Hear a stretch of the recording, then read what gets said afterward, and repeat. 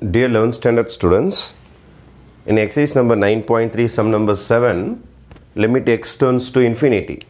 உங்களுக்கு இந்த மாதிரி ரேஷனல் எக்ஸ்பிரஷன் சிங்கிளாக இல்லாமல் இந்த மாதிரி மைனஸ் ப்ளஸ்லலாம் இருந்ததுன்னா ஃபஸ்ட்டு சிம்பிளிஃபை பண்ணிவிடுங்க அதுக்கப்புறமேட்டு நம்ம எப்போதுமே எக்ஸ் டர்ன்ஸ் டு இன்ஃபினிட்டிக்கு என்ன ப்ராசஸ் செய்யுமோ அதை செஞ்சிடலாம். Limit x tends to infinity இப்போ எதுவுமே காமனாக எடுக்காதீங்க. மொதல் சிம்பிளிஃபிகேஷன் முடிச்சிடுங்க. மைனஸ் ப்ளஸில் இருந்ததுன்னா இதை சிங்கிள் ரேஷனல் எக்ஸ்பிரஷனாக மாற்றிடுங்க அப்போ எல்சிஎம்னு பார்த்தீங்கன்னா உங்களுக்கு டூ எக்ஸ் ஸ்கொயர் மைனஸ் ஒன்னும் வரும்.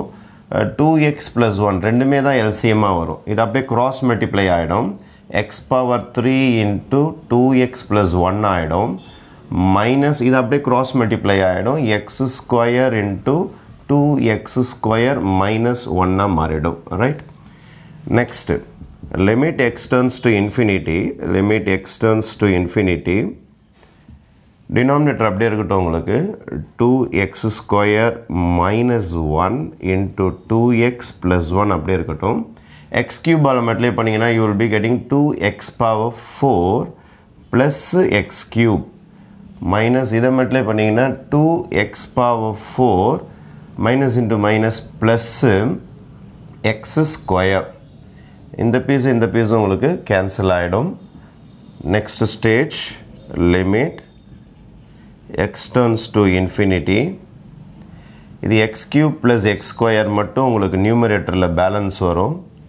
டினாமினேட்டரில் உங்களுக்கு two x square minus one into two x plus one இதான் உங்களுக்கு பேலன்ஸ் இப்போ இது சிங்கிள் எக்ஸ்ப்ரெஷனாக மாற்றிட்டீங்க ரெண்டு எக்ஸ்ப்ரெஷனாக இருந்தது you simplify to single rational expression next இப்போ காமன் எடுக்கலாம் நம்ம highest powers limit x tends to infinity இதுக்கப்புறம் நம்ம நார்மல் சம் இதுதான் ஸ்டார்டிங் ஸ்டேஜ் மாதிரி. ஹையஸ்ட் பவர் என்ன இருக்குது உங்களுக்கு? பவர் த்ரீ இருக்குது. அதை எடுத்துருங்க. அப்போ பேலன்ஸ்னு பார்த்தீங்கன்னா ஒன் வந்துடும் இந்த இடத்துல. ஆனால் இங்கே என்ன வரும்னா ஒன்று குறையிறதுன்றதுனால ஒன் பை எக்ஸாக மாறிடும். ஒன் பை எக்ஸ் அதுக்கப்புறம் இந்த ப்ராக்கெட்டில் பார்த்தீங்கன்னா எக்ஸ் ஸ்கொயர் தான் அதிகமாக இருக்குது. எக்ஸ் ஸ்கொயரை வெளியில் எடுத்துருங்க. அப்போ மீந்தது two minus one by x square minus one by x square அதே மாதிரி இந்த சம்மிலேருந்து எக்ஸை மட்டும் வெளியில் எடுங்க. எக்ஸ் மட்டும் வெளியில் எடுங்க. எக்ஸ் எக்ஸ் வெளியில் எடுத்துட்டேன்.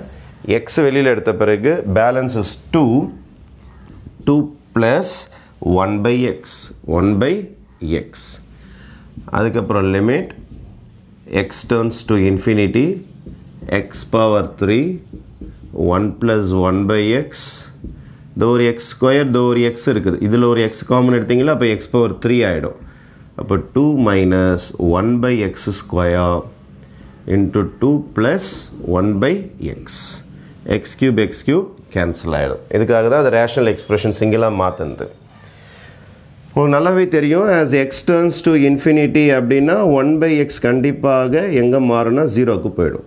அப்போ இந்த ஒன் பை எக்ஸ் ஜீரோவாக மாறிடும். இந்த ஒன் பை எக்ஸ் ஜீரோவாக மாறிடும் இது ஜீரோவாக மாறிடும்.